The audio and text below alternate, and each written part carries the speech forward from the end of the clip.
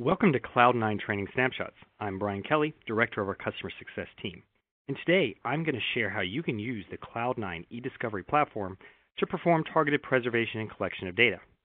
With targeted preservation and collection, users are able to collect data at the source and select targeted file categories or even individual file types.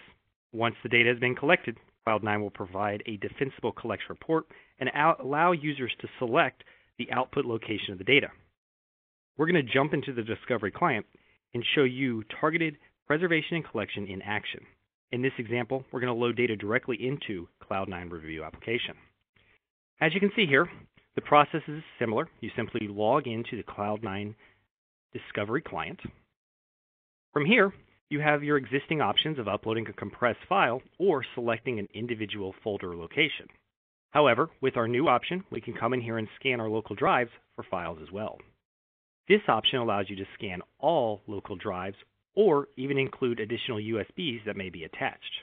You also have the ability to come and grab specific folder locations. This allows you to grab either multiple folder locations or larger targeted locations you may want to choose from. In this example, we're going to choose the My Documents folder. Inside of here, we're going to grab all existing data that's below that folder structure as well. Once you select this information, you simply begin the scan. It's going to create an index and account of this information. It's going to provide you a quick summary of the information that's been selected. And over to the left, you can toggle the different types of categories you'd like to choose from. Those categories include things like image, office, internet, system, compressed files. As you can see, you can check or uncheck options to increase, decrease, or select different types of categories.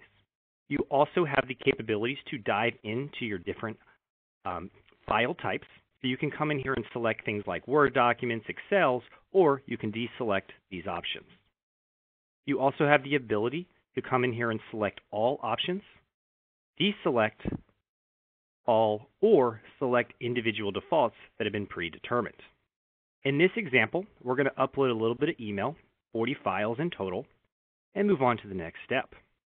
From here, you have the existing options of loading into early data assessment reports, creating load files, hosting data into a relativity environment, or, in our example, simply push some data into CloudNine, the review application.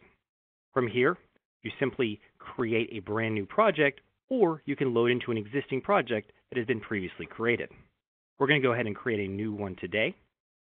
From here, you have the option to select a time zone for processing and display. Next option is simply giving it an upload name and adding any note information you'd like to include. And at this point, you begin the collection. At this point, it's going to go in there, compress down your results, pull only the targeted information, and then do a secure bit by bit transfer where data is encrypted during transit as well as at rest at our data facilities. Once the upload completes, you'll receive a chain of emails notifying you of the progress. The first email simply lets you know we've received your data. In this email, it's going to provide you information about what was scanned, the folders, and the types. It also is going to provide you a collection report. This collection report simply notifies you if there's any types of documents or any issues that may have occurred during the collection that may not have moved over into our servers. Once the process completes, you will also receive a second email notifying you that your data is now online. With this email, you'll get an EDA report or an early data assessment that gives you some insight into the data that was loaded into CloudNine.